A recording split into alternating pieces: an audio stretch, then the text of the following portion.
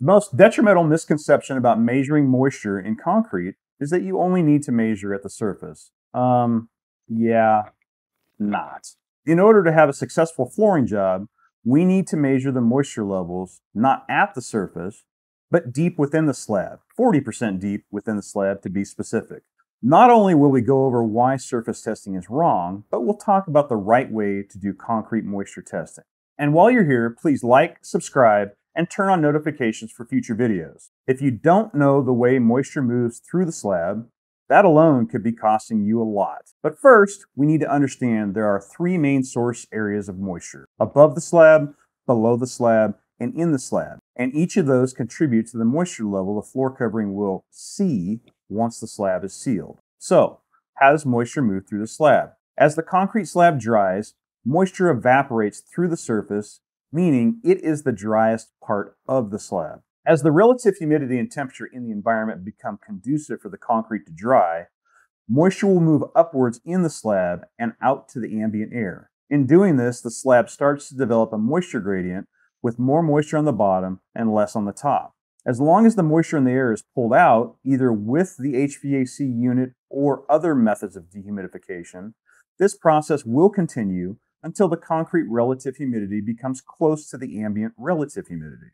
Now that we understand how the slab dries, let's talk about why the calcium chloride test doesn't work. The calcium chloride test has been around since the 50s and moved from a qualitative test to quantitative test without any real evidence to back it up. Doing it correctly requires multiple trips to the job site, multiple processes depending on the age of the concrete, and 60 to 72 hours to conduct the test once it is set.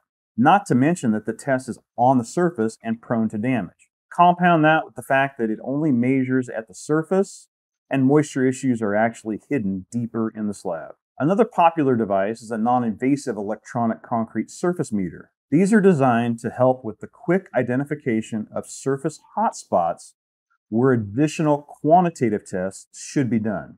Great for this intent, but not meant for making a definitive installation decision. Since we know that moisture testing on the surface isn't accurate and can ruin a flooring job, let's look at why testing in the slab 40% is necessary for the best information. As the concrete dries, it starts to develop a gradient with more moisture on the bottom of the slab and less on the top as we've earlier discussed. This is while the slab is open at the top to the environment. Once the slab is covered, all of the moisture redistributes and equalizes from top to bottom. The relative humidity measurement obtained at 40% depth in the slab prior to installation has been scientifically proven to closely resemble the relative humidity measurement at the surface once flooring is installed. With relative humidity testing, you are testing a small pocket of air at a specific depth by drilling a hole into the concrete, installing an electronic sensor, and waiting 24 hours for definitive flooring installation results. But not using RH sensors properly can be just as costly as not measuring.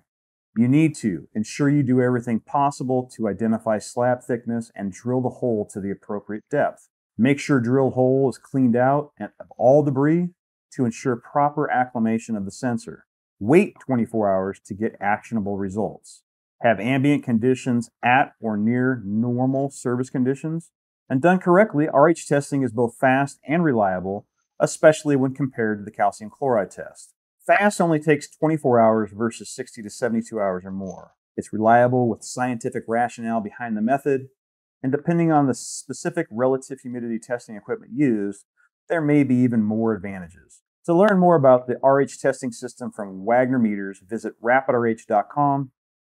We'll see you next time.